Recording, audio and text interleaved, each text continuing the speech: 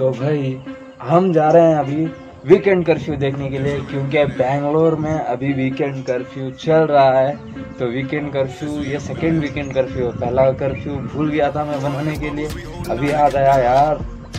चलो ये भी बनाते हैं वीडियो तो अभी मैं जा रहा हूँ अपनी शॉप के पास। तो आपको उधर का मंजर दिखाऊँगा सीन दिखाऊँगा, क्या कुछ होता है, क्या शॉप ओपन रहती है, क्या बंद करवा देते हैं, कितनी टाइम तक ओपन रहती है। ये सब आपको आज देखने को मिलेगा।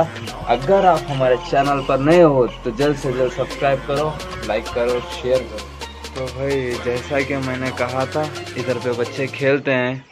फ़ील्ड पे देखो, फिर से लॉकडाउन आ गया तो बच्चे खेल रहे हैं अभी। तो भाई, चलो, ये तो ये खेलते रहेंगे। चलो, हम जाएँगे अपनी शॉप के पास और देखते हैं कि दुकान ओपन करने के लिए देंगे या नहीं।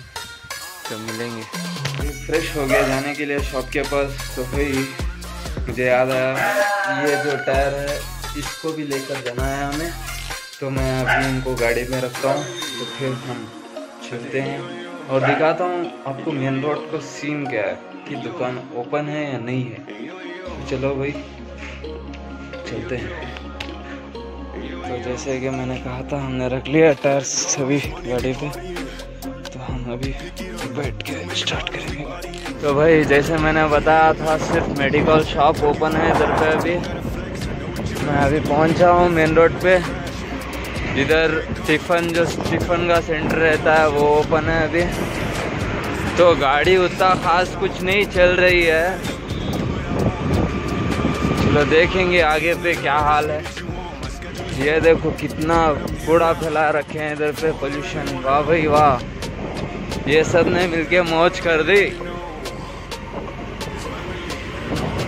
तो भाई, रेशन के शॉप सभी ओपन है। मतलब जो जो चाहिए वही ओपन है। मतलब देखो हाँ चिकन का शॉप ओपन है, उधर पे रेशन का शॉप ओपन है, इधर पे टिफ़न का शॉप ओपन है। तो भाई, तरकारी का शॉप ओपन है। और सब बंद है। देखते हैं अपनी शॉप के पास का क्या हाल है। अभी इधर पे इतना बंद बंद है तो अपनी शॉप के पास कैसा होगा। चलो, देखेंगे।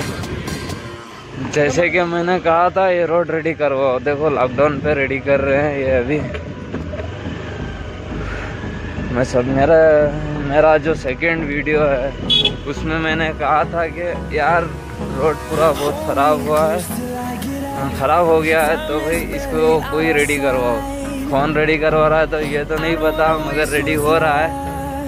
हाँ काम भी शुरू हो गया है। देखेंगे कितने दिन में करेंगे और कितने दिन में फिर वापस से खोद देंगे। और ये रही अपने शॉप के पास की मस्जिद, जिसका नाम है मदीना मस्जिद। तो भाई, ये भी रोड बहुत ख़राब है। जिसकी वजह से मुझे वीडियो बनाने में बहुत दिक्कत हो रही है। तो भाई, अगर आप हमारे चैनल पर नए हो तो सब्सक्राइब करो जाके, क्योंकि आपको पता हो गया होगा कि कितनी दिक्कत होती है वीडियो बनाने में। तो चलो भाई। तो जैसा कि भाई, मैं अपने शॉप के पास आया, भाई, मेरा शॉप तो अभी के लिए बंद है। तो हम पहले इसको खोलते हैं। फिर देखते हैं, आपको दिखाते हैं। ये रहे वो टायर जो मैं लेके आया हूँ घर से अभी। तो भाई पहले खोल के फिर आपको जस्ट शॉप का लॉक ओपन किया, फिर देखा भाई अंदर पूरा गिरा पड़ा है। कैसे गिर गया, समझ नहीं। मतलब गिर गया सभी चीज़ दिखा रहा हूँ आपको। तो ये देखो भाई, कैसे गिर गया है।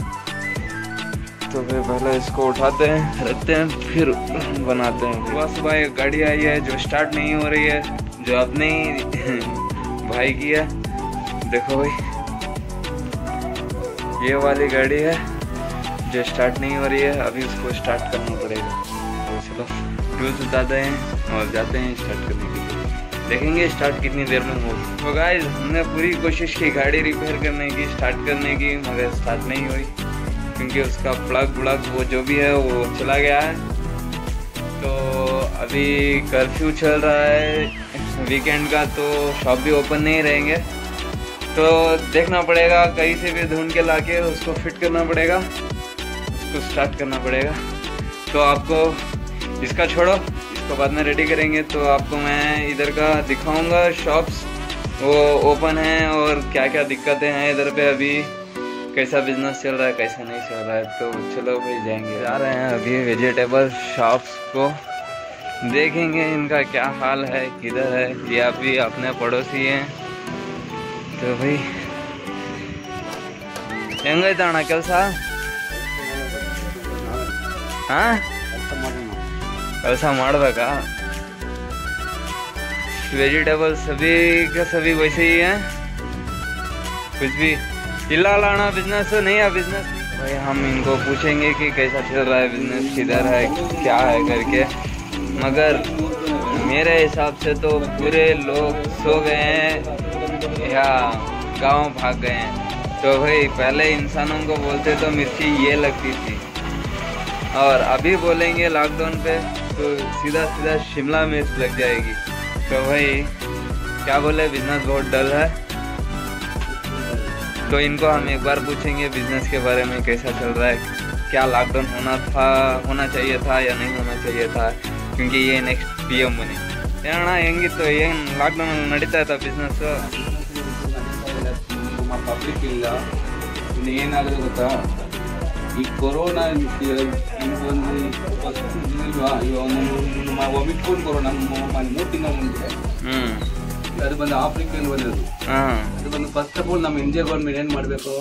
ಅಲ್ಲಿ ಏರ್ಪೋರ್ಟ್ ಬಂದೋಬಸ್ತ್ ಮಾಡ್ಕೊಂಡು ಕಂಪ್ಲೀಟ್ ಅದನ್ನ ಅದೇ ಅದೇ ಅದೆಲ್ಲ ಬಿಟ್ಬಿಟ್ಟು ಇಲ್ಲಿ ಬಡವ್ರಿಗೆಲ್ಲ ತೊಂದರೆ ಕೊಡ್ತಾ ಇರೋದು ಇವಾಗ. ಕೆಲಸ ಮಾಡ್ಕೊಂಡಿದ್ರೆ ಹೆಂಗೆ ಜೀವನ ಮಾಡೋದು? ಹ್ಮ್ ಹೆಂಗೆ ಬಡವರು ಇಲ್ಲಿ ಪಬ್ಲಿಕ್ ಇಲ್ಲ ಇಲ್ಲ ಇಲ್ಲೆಲ್ಲ ಅವ್ರ ಮನೆ ಖಾಲಿ ಮಾಡ್ಕೊಂಡು ಅಲ್ಲಿ ಕರೌಟ್ ಹೋಗ್ತಿದೆ ನಮ್ದು ಹೆಂಗೆ ಅಂಗಡಿ ಬಾಳೆ ಕಟ್ಟಂಗೆ ಮನೆ ಬಾಳೆ ಕಟ್ಟಂಗೆ ಜೀವನ ಮಾಡಿದ್ರೆ ಹೆಂಗೆ? ನಿಜ ನಿಜ ನೀವು ಹೇಳ್ತಾ ಇರೋದು ನಿಜಾನೇ. ಇದು ನೋಡಿ ಸರ್ಕಲ್ ಎಲ್ಲ ಫುಲ್ ಡಲ್ ಐತೆ. ये देखो हमने अभी इनसे बात की और ये बोल रहे हैं इनको बहुत कुछ पूछा और इन्होंने बताया कि भाई लॉकडाउन नहीं होना चाहिए था। लॉकडाउन करना ही चाहिए था। तो भाई इसको पहले ही रोक लेते लॉकडाउन करने की ज़रूरत ही नहीं पड़ती। तो भाई क्या पूछते हो तरकारी? या वेजिटेबल शॉप वाले भी बहुत टेंशन में शॉप ओपन रख के भी क्या करेंगे? आ, अगर काम ही नहीं चल रहा हो तो। तो भाई ऐसा सब चल रहा है इधर पे। और आपको इधर पे दिखाता हूँ, दो तीन शॉप देखो और समझ लीजिए कैसा चल रहा है अभी। वीकेंड कर्फ्यू इधर पे बेंगलोर में। काम तो काम वगैरह तो कुछ भी नहीं है, आना है, बैठना है और घर को वापस जाना है। तो गाइज़ अभी मैं जा रहा हूँ अपने घर को, क्योंकि काम बिज़नेस कुछ नहीं है, क्योंकि भाई मैं सुबह से बैठा हूँ और बैठा हूँ और बैठा ही हूँ सुबह से और वो गाड़ी भी रेडी नहीं हो पाई क्योंकि पार्ट्स का दुकान जो है वो फुडुम फुडुम क्लोज हो गया है। तो भाई, कल ओपन होगा पार्ट्स का दुकान, एक होगा इस जितना कवर कर सकते थे उतना कवर किया क्योंकि मौसम है करोना तो सबको है रोना। तो भाई, आप हमारे नए, हमारे चैनल पर अगर नए हो तो सब्सक्राइब किए बिना मत जाना और लाइक कमेंट शेयर कर दीजिएगा। तब तक के लिए खुदा हाफिज।